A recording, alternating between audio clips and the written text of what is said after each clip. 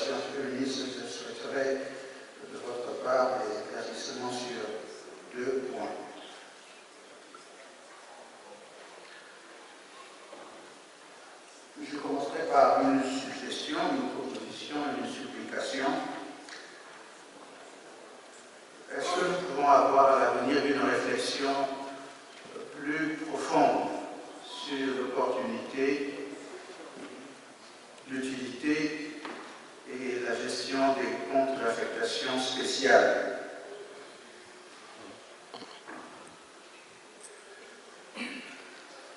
Au regard de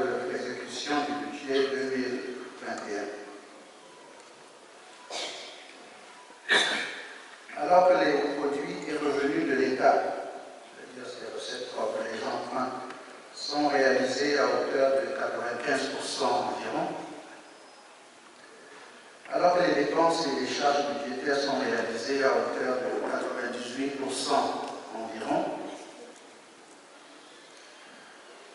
Les comptes d'affectation spéciale ne sont alimentés qu'à hauteur de 53%. Autrement dit, 245 milliards de francs ont été budgétisés et seulement 130 milliards ont été affectés au compte d'affectation spéciale.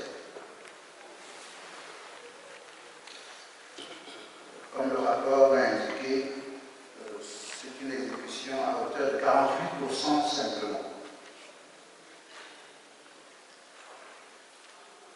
245 milliards budgétés, 119 milliards dépensés.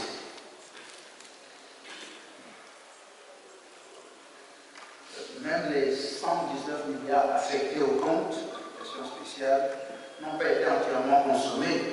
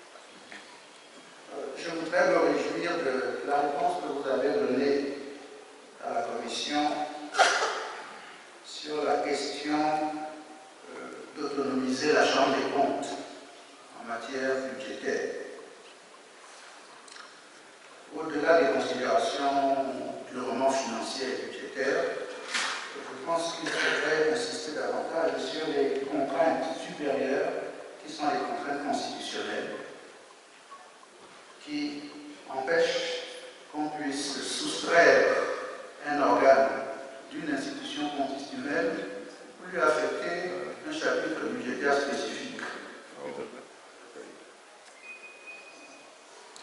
Les institutions constitutionnelles qui ont un chapitre budgétaire sont celles qui sont prévues par la Constitution, d'une part, le Sénat, l'Assemblée nationale, la Cour suprême, Conseil constitutionnel, le Conseil économique et social, plus d'autres institutions de souveraineté qui jouissent d'une autonomie administrative et financière comme Elections Cameroun, la Commission des droits de l'homme du Cameroun, la Commission pour la promotion du bilinguisme et du multiculturalisme.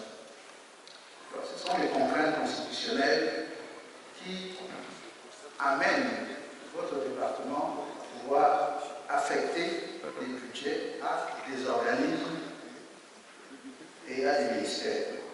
Donc, euh, je me réjouis que cette réponse ait pu être donnée et que je souhaite appuyer par euh, ce périmètre, cet encadrement constitutionnel. Enfin, Monsieur le ministre, vous connaissez mes préoccupations récurrentes en matière de rapport entre le budget de et le budget d'investissement.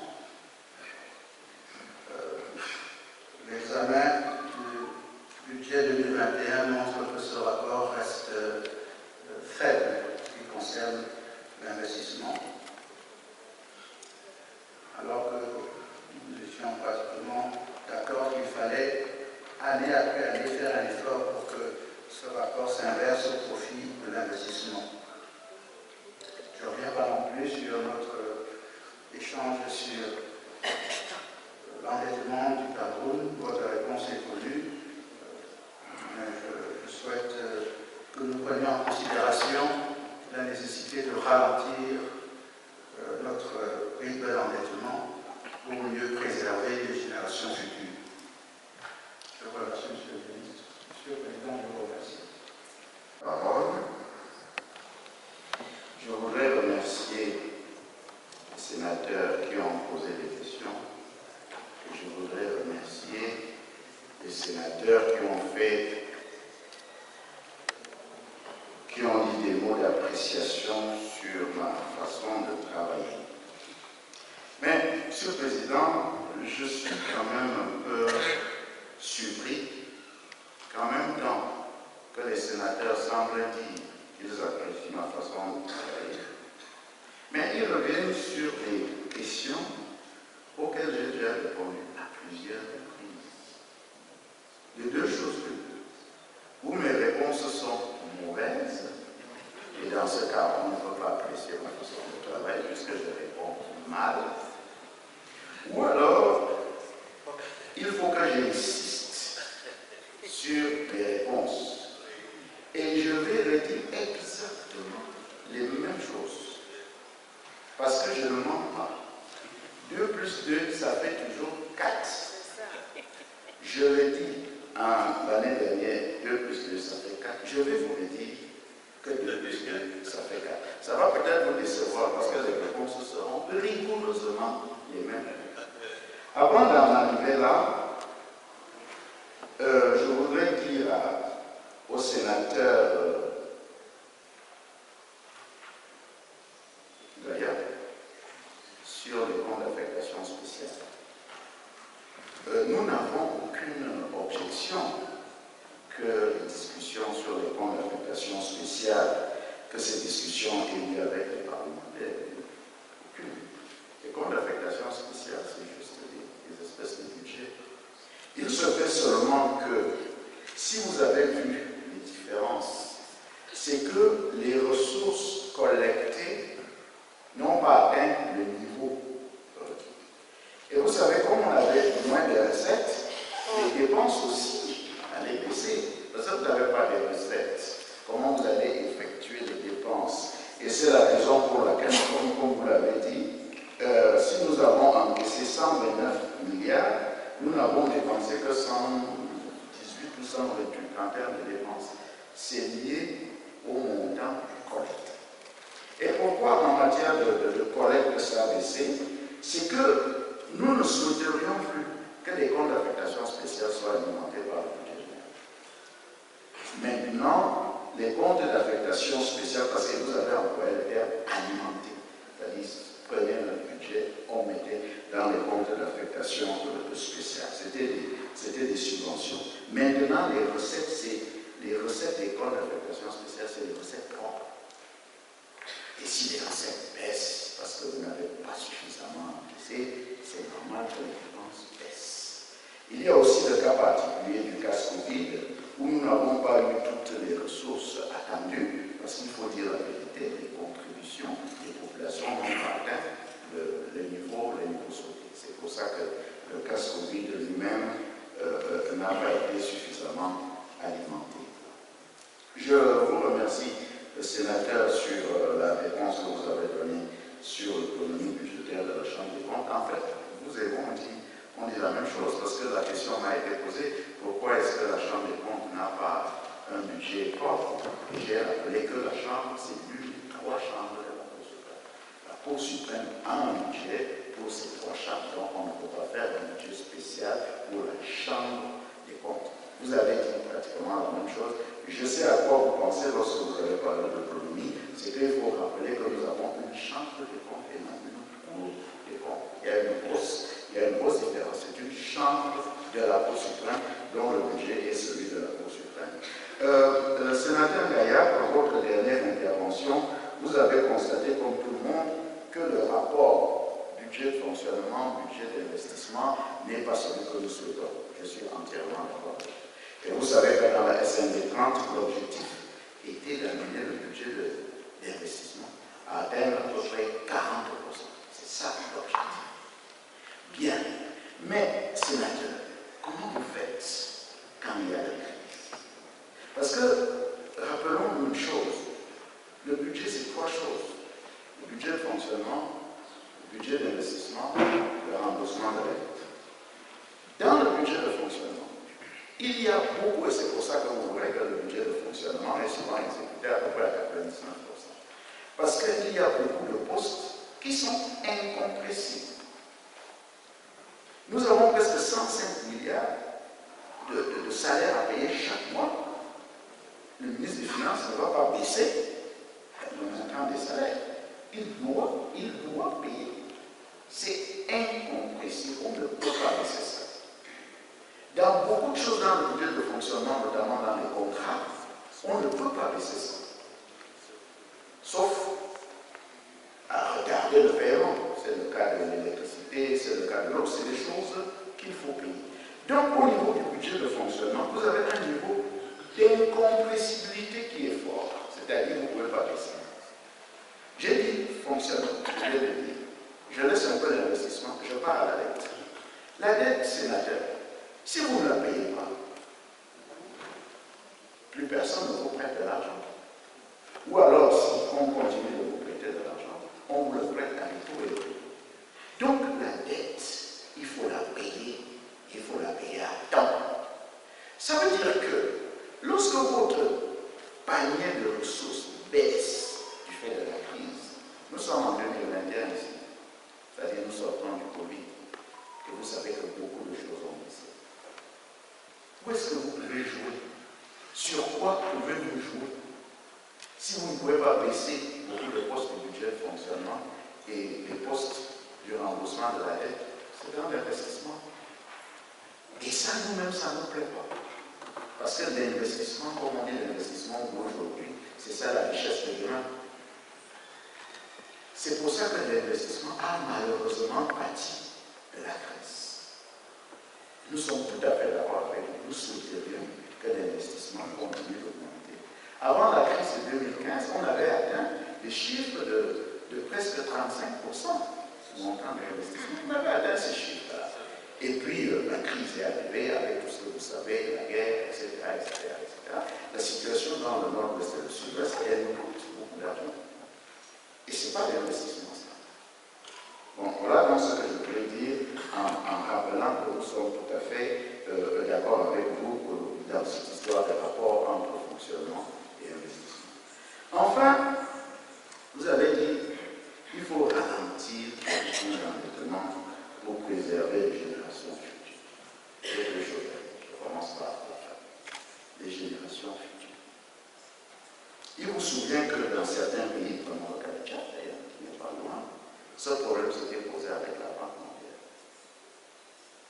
Sénateur, nous sommes en guerre dans le nord Que faut-il faire Il faut, faut aller Ou bien il ne faut pas dépenser pour les générations futures. Mais les générations futures de trouver un pays complètement anéanti. Complètement. Les générations futures vont également profiter si aujourd'hui, pas demain, aujourd'hui, nous faisons un certain nombre de choses.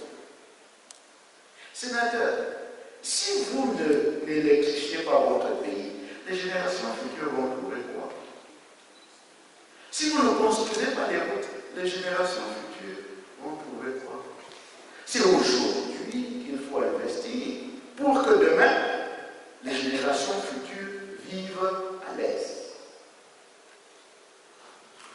Tout à l'heure, euh, dans l'examen du projet de loi qu'on a examiné là sur euh, l'Africa Finance Corporation, on vous a parlé du barrage de Natiga.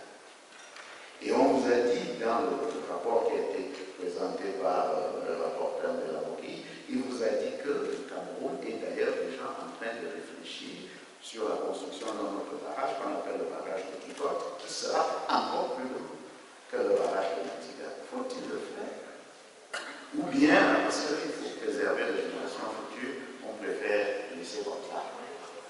On est dans l'obscurité, comme ça, les générations futures, on va. Non.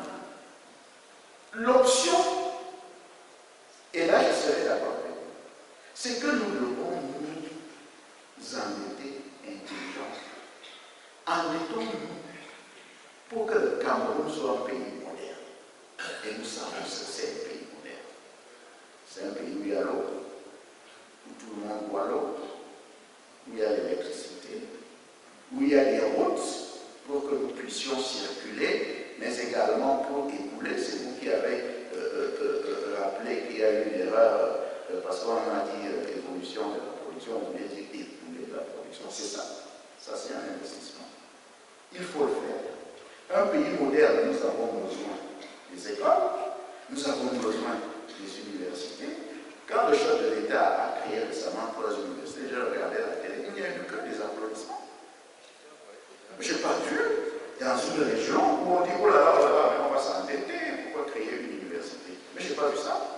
Tout le monde était content. Merci, monsieur le président. Oui, pour les générations futures, c'est ça qu'il faut. Mais il faut s'endetter intelligent. Et c'est ce que le Cameroun fait. C'est pour ça que je dis, je suis vraiment désolé de revenir sur cette histoire de dette. Peut-être faudrait-il que les disent quel devrait être notre niveau d'endettement.